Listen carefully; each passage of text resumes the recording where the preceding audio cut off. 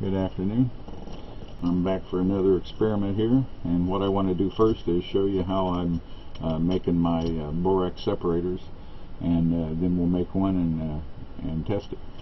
So what I've got here is a piece of uh, typing paper soaked in borax and uh, it doesn't appear that the concentration of borax is that is that critical. It seems to work with a wide range.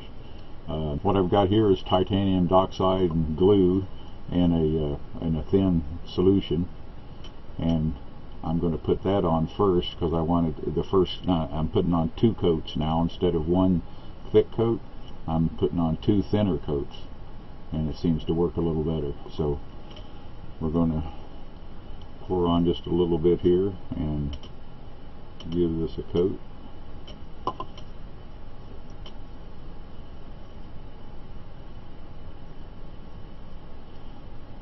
if you get it spread around fast, and it don't gum up on you too fast. Alright. Alright, I'm back.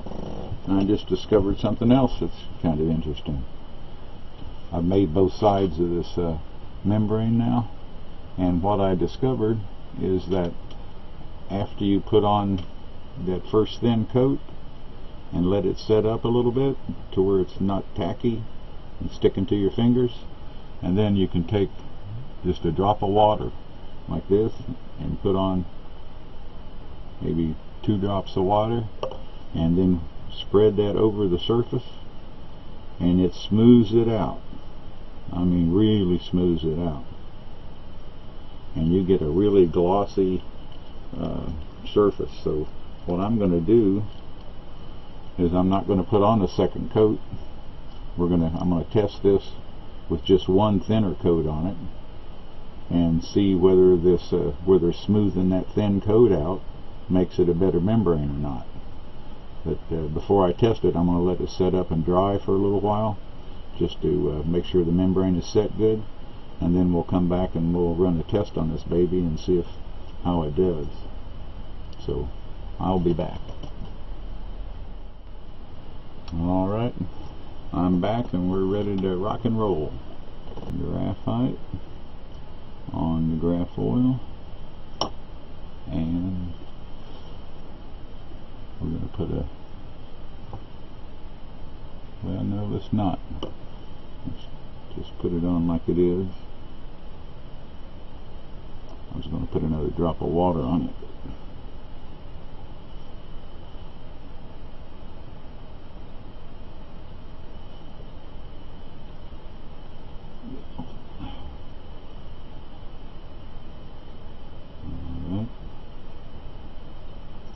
think this side I'm going to put a drop of water though.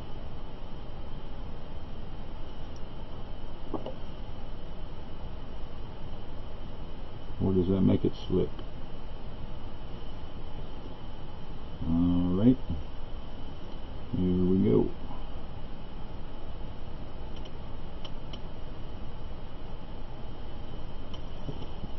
Alright, let's see what we got. And we are at 81, 9, 82, starting to climb. Let's let it climb up and uh, to where it stops and then I'll be back. Alright, I'm back. It didn't climb much more, but it did go up some. We're at 80.846. Alright, here we go. 52. That's not a bad start. Let's hope the hope the membrane holds up.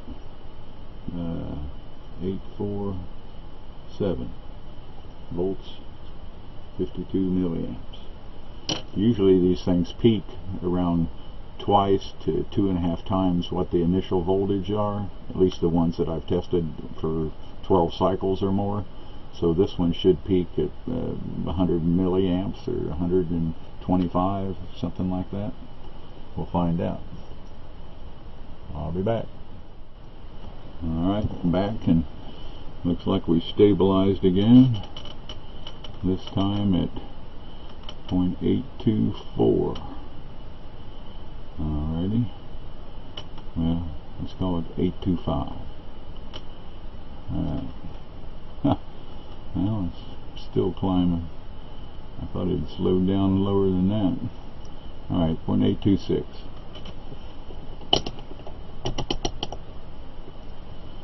Here we go. And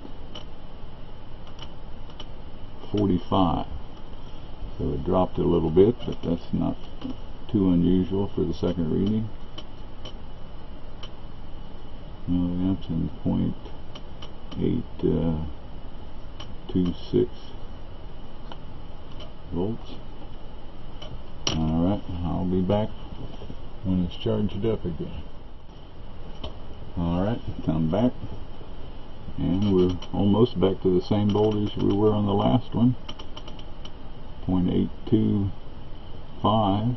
We tested at 826 last time. So it's pretty much the same. Alright, 0.825. And our amps are 41. So again, a slight decrease, which is really not too far out of the ordinary. But if it's going to be a better uh, separator though, uh, the signs of a good separator are the voltage eventually reverses and starts climbing and the amps keep and start climbing up. So so far we've got a slight drops in amps. I'll be back. Alright, I'm back again. And now we have 1827 0.828 so it looks like we've started to reverse the voltage and it's starting to go back up 829 we'll measure it right there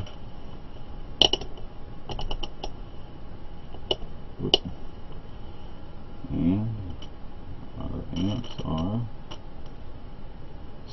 72 alright there's our first increase in amps and it's usually right there at that point where it starts to reverse the voltage 72 so and that was 829 I think. Alright so it looks like this um, this uh, film here is going to hold up with one thinner coat and it may be because I rubbed the uh, water on it and sealed the, the pores a little better or something but uh, we're going to give it another whirl. If that would have gone down right there, I'd say that the that the uh, the, the uh, uh, membrane was failing. But we got a we saw an increase right there. So let's try it again and see if it goes on up. All right, I'll be back. All right, back again. And this time it looks like we might have trouble. I say that because our voltage we're having a hard time getting above uh, point uh, it's like uh, the uh, time between the intervals between the jumps is, uh, is, is higher than so let's measure it right there and see what the amps are. 8.09 if the amps are falling then we've got a failing membrane alright we go three two one 44. Yep, looks like the membrane is failing.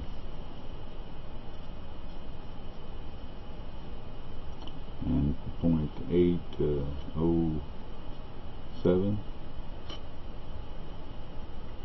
We'll test it one more time just to make sure, but that's my guess. I'll be back.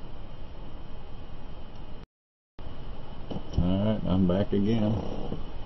And this time we're still got a dropping voltage and that's not a good sign you see it's at 0.793 and really struggling to climb up to like 15 seconds now between uh, changes so we're going to measure it at uh, 0.7794 call it that